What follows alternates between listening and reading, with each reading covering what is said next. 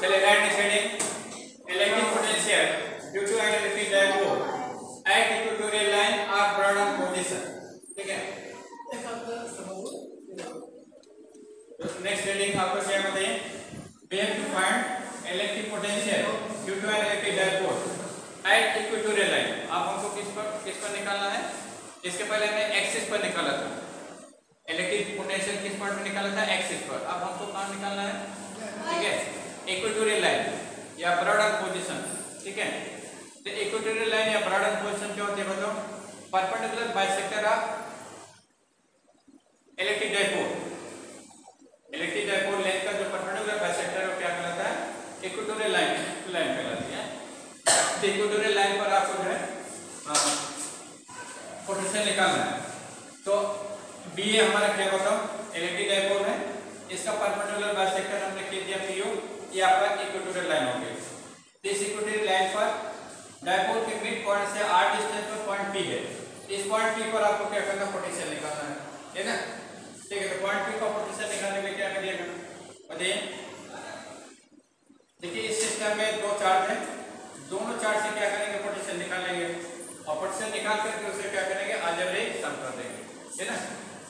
There are two charge in this system और find potential to individual charges and sum them by algebraic method ना? क्योंकि ये algebraic sum को hold करेगा। Electric potential is a scalar quantity. तो scalar quantity जो है, algebraic sum को होल्ड करती है। ठीक है? तो इस सिस्टम में दो चार्ज है तो दोनों चार्ज से पोटेंशियल निकाल रहे हैं, उसके बाद algebraic sum कर देते हैं। अगर ये चार्ज होता तो ये चार्ज से निकालते हैं। लेकिन दो ही चार्ज है, इसलिए दो चार्ज से निकालता है। तो दो चार्ज कौन से माइनस टू है और प्लस टू है ना ठीक है तो चलिए तो net potential at point P क्या हो जाएगा potential electric potential at point P electric potential electric potential at point P तो पॉइंट पी पर जो इलेक्ट्रिक पोटेंशियल होगा, बीच पुट क्या हो जाएगा? Electric potential due to charge A plus electric potential due to charge B ना? तो बीच पुट कितना हो जाएगा? Electric potential due to charge A क्या हो जाएगा one upon four by epsilon naught magnitude of charge at A Q upon distance of A from P ये हो जाएगा P A plus one upon four by epsilon naught और देखिए यहाँ पर जो चार्ज होगा इस साइड रखा जाएगा, जैसे माइनस क्यू तो माइनस क्यू रखा जाएगा, क्योंकि charge is scalar quantity potential is scalar quantity scalar quantity में हम प्लस माइनस साइन कंसीडर करते हैं। वेक्टर क्वांटिटी में डायरेक्शन और मैग्नीट्यूड कंसीडर करते हैं। तो क्या हो जाएगा बीपी हो जाएगा क्या हो जाएगा बीपी है? तो देखिए point on perpendicular bisector are equidistant from any point. है किसी लाइन का जो परपेंडिकुलर बाइसेक्टर होता है, किसी लाइन के परपेंडिकुलर बाइसेक्टर पर जितने पॉइंट होंगे, वो एंड पॉइंट से क्या होंगे? लाइन सेगमेंट के एंड पॉइंट से क्या होंगे? इक्विडिस्टेंस पर होंगे। ठीक है? तो ज्योमेट्री से आपका पी ए की पी ए की वैल्यू क्या होगा? पी बी हो जाएगी। ये लेंथ ये लेंथ क्या होगी? सेम होगी। ये लेंथ और ये लेंथ क्या होगा? बराबर होगा। क्योंकि ये आइसोसेलेस ट्रायंगल है आपका ठीक है? तो फ्रॉम ज्योमेट्री फ्रॉम ज्योमेट्री फिर हम क्या होते हैं बताओ? Each point at perpendicular bisector are equal distance from any point जिसके according P A equal to P B हो। जाएगा P A equal to P ना?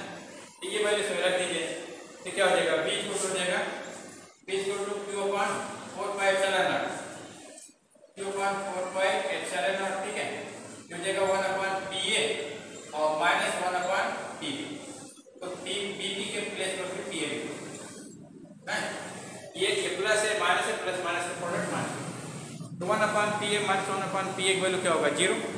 है? One minus one upon P A minus one upon P A की value क्या होगा? Zero होगा। तो क्या हो जाएगा? ये बीच पॉइंट हो जाएगा Q upon four by epsilon naught zero इसलिए बीच पॉइंट कितना गया? ज़ीरो। तो हम कहते हैं कि electric potential at each point of equatorial line is zero है इक्वेटोरियल लाइन इलेक्ट्रिक डायपोल के इक्वेटोरियल लाइन पर इक्वेटोरियल लाइन के इस पॉइंट पर पोटेंशियल क्या होगा ज़ीरो पोटेंशियल क्या होगा ज़ीरो ना तो thus equatorial line of electric dipole behaves as an equipotential line है ना?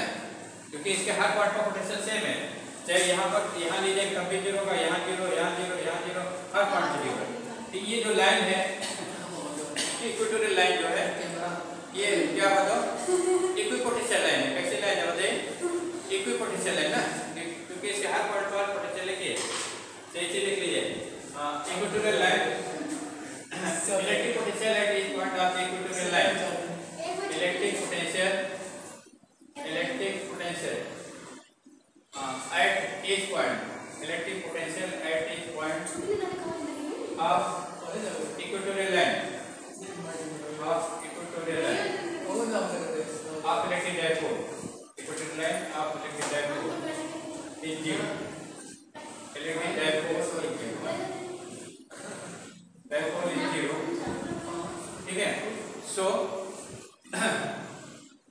तो इक्वेटोरियल लाइन बी एफ़ चाहिए equipotential line ना so equatorial line equatorial line of electric dipole equatorial line equatorial line of electric dipole of electric dipole dipole dipole behaves as a behaves as a equipotential line behaves as a equipotential line ठीक है? ये आपका equation चलो copy करिए। तो जैसे आ जाए give an example of equipotential line तो आप यहाँ से ये एग्जांपल लिख सकते हैं अपन ठीक है? इस इस टाइप से इलेक्ट्रिक डाइपो इलेक्ट्रिक डाइपोल के इक्वेटर लाइन पर पोटेंशियल आपका ज़ीरो होता है